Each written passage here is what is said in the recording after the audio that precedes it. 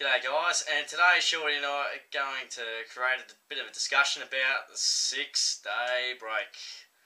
I day break. think this is the most overrated thing used in footy since I have no idea, but it's um so often it's used as an excuse and I think yeah, it just shouldn't be used as an excuse. Yeah. Surely the the fixtures released at the start of the season so you can plan for it.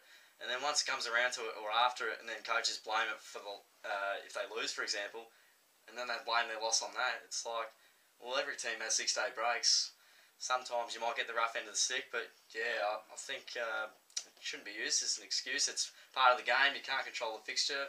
What do you think, mate? Exactly. You, you can't always play on a Friday. You can't always play Saturday. I mean, like you say, I mean, I think repeat six day breaks can start to Yeah, to mount up and, and hurt. But again, the fixture generally is kind enough to not allow that. But yeah, it's very overrated. I mean, you never hear anyone go, oh, I'm, I'm tipping the dogs because they just had an eight day break. no, exactly I mean, right, mate. Just Exactly. a six day break seems to get talked about. And I heard a coach, I'm not sure who it was, but saying, someone asked him, what, what's actually the difference that you struggle or don't get out of? And it's just lack of recovery. So, I mean, it's a, you might be slightly less prepared, but it, it'd be the most marginal percentage. Exactly. Yeah. And that uh, isn't going to fully turn a match, which sometimes uh, sides and coaches alike tend to think it does. So, yeah, it's yeah, it's, it's certainly overrated, that's for sure, I think. Yeah. Well, I think uh, was it Jackie Carlisle last year that there was this footy show on, on the AFL site that used to be on. And they had the Blundstone boots and stuff that they gave to the players after the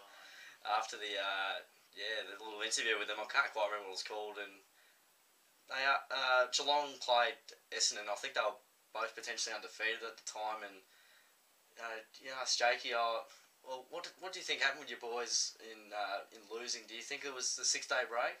And it's like seriously, you're gonna blame a six day break on the back of that as to to being the excuse of you losing. It's that's a horrible excuse. yeah. Uh, good sides don't make excuses, and as Ross Lyon says, we're a no excuse football yeah, team. exactly. Very It's, uh, robotic, but um, that's Ross. yeah, it is, and I mean, sure, it's nice to have a, a bit of an extra break, but once match day rolls around, you know, they're elite footballers. Their fitness is elite. You see guys Collingwood playing with, you know, one person on the bench. I mean, Yeah. what's more costly, that or a six day break?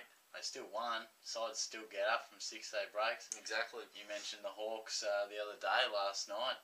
They still got up and they'll come back from Perth. So I think they had two six day breaks as well. Well, there you go. Potentially, so that that just highlights the argument. Hawthorn are an excellent team as well, so it gives them a bit of a outlet there, I guess. But um, Yeah, yeah, they, part of being a good side, isn't it? Absolutely. Dealing with that. So Mm.